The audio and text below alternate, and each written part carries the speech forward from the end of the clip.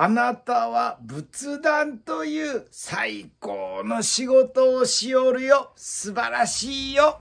そう言っていただいて褒めていただきました。えー、昨日ですね、熊本市西区郷市 H 様、金箔が吹いても剥げない国産仏壇、ご注文いただきました。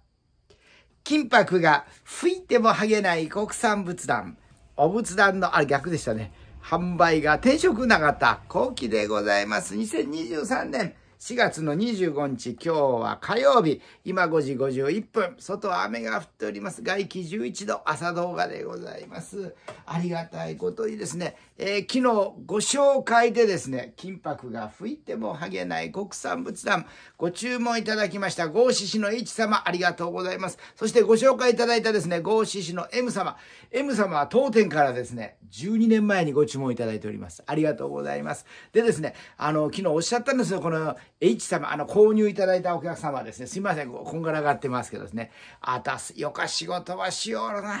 と言っていただきました。もう本当ありがとうございます。あたこの仏壇ちた毎日こうやって手回すとよって、で、H 様今度法事が来るそうなんですよ。30回忌ですかね。で、30回忌だからもう仏壇場買おうかと思って、で、M 様に聞いたら、ああそこの仏壇屋さんがよかよって、あの人はとてもよかしとって、あの、はがきとか、あとあの、新聞場を送って、あの、仏壇販売、転職新聞地の出してるんですけどね、あの、新聞場ですね、年に2、3回送ってこらすとよって、あの人は売りっぱなしには殺産権は絶対あの人が買いなせと言っていただきました。ありがとうございます。M 様ありがとうございます。ということでですね、H 様こちらご注文ですね、えー、昨日ですね、合志市、午後ですね、合志市を訪問させていただいてお車でですね、私の仏壇販売転職号で、えー、訪問させていただきました。で、えー、お仏間を見せていただいて、ああ、この大きさならば、やはりこ、このお仏壇で、これ一番売れてる国産仏壇なんですけどね、このお仏壇がちょ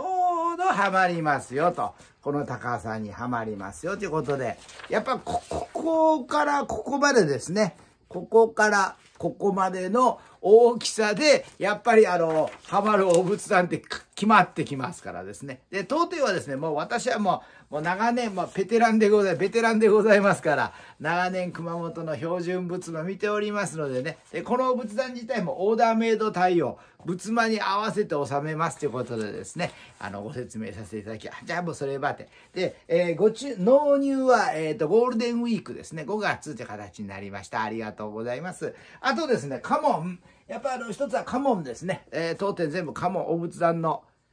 上の方にですね、家紋、えー、えー、H 様はですね、丸に剣型ばみですね。いい家紋ですね。丸に剣型ばみ。こちらを、えー、こちらをですね、あの、お仏壇のに付けさせてもらいまして。で、当店はですね、こういう形で、おりんに24金象眼。えー、ちょっと待ってくださいね。棒をちょっと段取りしておりませんでしたね。こうやっておりんに24金象眼。ここ、これを掘り込むことによってですね、H 様のオリジナル仏壇になります。世界に一つだけの仏壇をお届けいたします。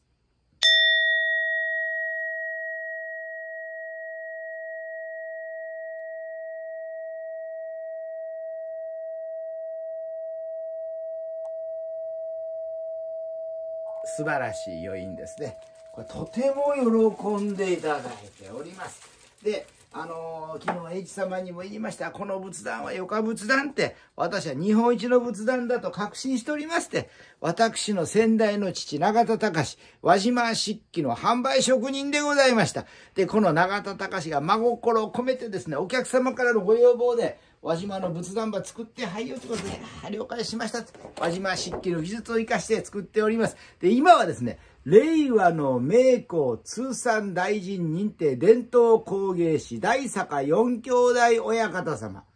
4人のご兄弟が真心合わせて力を合わせてですね、仕上げていただいておりますので、もうこれはもう間違いがありません。で、何かあった時はですね、もう昨日言いました。H 様って私に言うてくださいって。これもちろん1年間の保証がついてますって。それと、あの、